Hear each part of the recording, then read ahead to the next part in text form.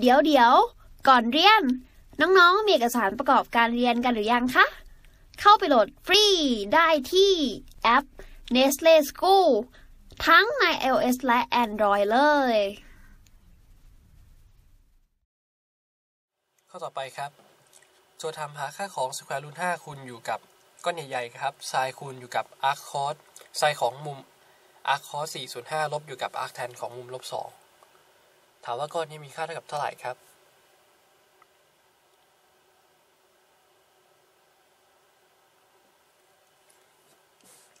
เริ่มต้นเลยนะครับ แนวคิดในการทำโจทย์ข้อนี้คือพี่สมมุติงี้ก่อนนะครับ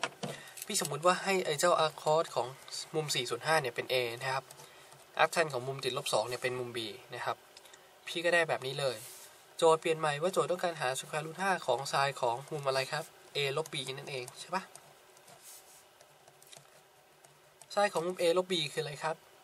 ไซน์ cos ลบ cos ไซน์ถูกไหมครับ ก็กลายเป็นไซน์ A คอส B แต่ว่ามันเป็นติดลบก็กลายเป็นติดลบไซน์คอสลบคอส A ไซน์ B แบบนี้เนาะทีนี้เราคืนสภาพครับ คืนสภาพให้มุม A มุม A เนี่ยหน้าตาเป็นแบบไหนครับ มุม A เนี่ยจากโจทย์บอกว่าคอสของมันเนี่ยเท่ากับ4ส่วน5ถูกไหมครับ ก็คือคอส A เท่ากับ4ส่วน5 คอสก็คือชิดฉากแบบนี้เนาะก็จะได้ว่าด้านตรงข้ามเป็นเท่าไหร่ครับ 25ลบ16 ก็กลายเป็น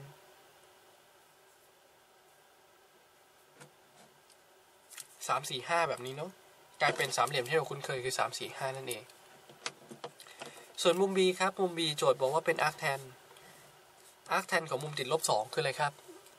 อาร์คแทนของมุมติดลบ2ก็คือกลายเป็น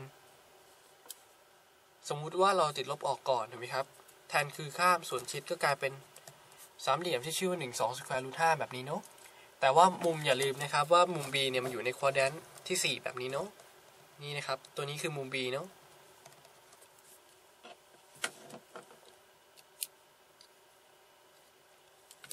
คืนสภาพให้เดิมคืนสภาพของมันครับ ก็คือไซน์ A ก็คืออะไรครับไซน์คือข้ามฉากก็คือกลายเป็น3ส่วน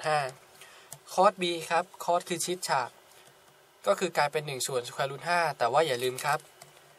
all sin tan cos ใช่เปล่า B มันอยู่ใน quadrant ที่ 4 ก็แปลว่าค่า cos มันเป็นค่าบวก ก็แปลว่าบวกไปเลย ไม่มีปัญหาอะไร1ส่วน square root 5นั่นเอง ลบอยู่กับคอส A ครับคอสคือชิดฉากก็คือ4ส่วน5นะครับ ส่วนไซน์ B ไซน์ B คือข้ามฉากคือ2ส่วนสแควร์รูท5แบบนี้เนาะแต่อย่าลืมครับว่าไซน์ของมุม B B มันเป็นค่าเอ่อ B มันเป็นมุมอะไรครับ มันเป็นมุมติดลบคืออยู่ในควอดรนที่ 4 แบบนี้เนาะ ค่าไซน์มันเป็นค่าลบถูกไหมครับ ก็อย่าลืมว่าใส่เป็นค่าติดลบ เอารุ่น 5 กระจายครับ ก็กลายเป็น3ส่วน5ลบลบก็กลายเป็นบวกครับ กลายเป็นบวกของ4คูณ2กลายเป็น8ส่วน5นั่นเอง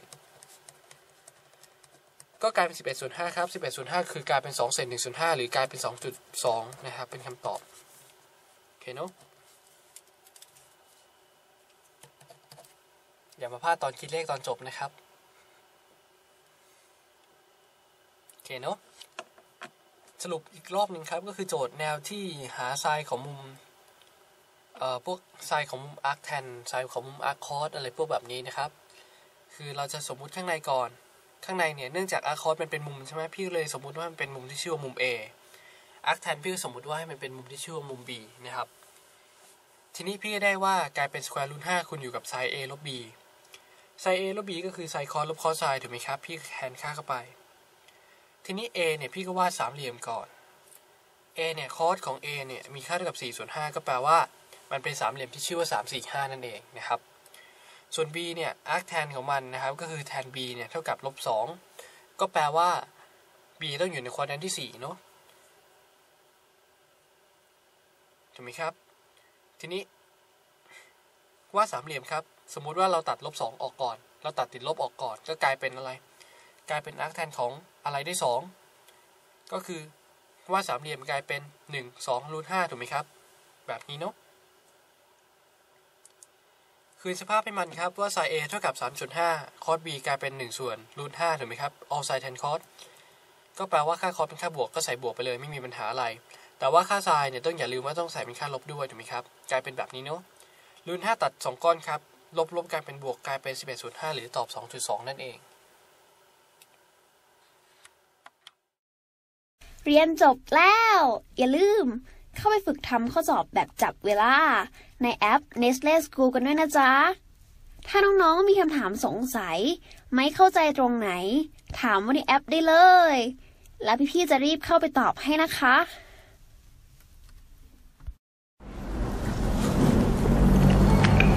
ดูความรู้ไป กินไอติมไป ก็เพลินนี้นะอะ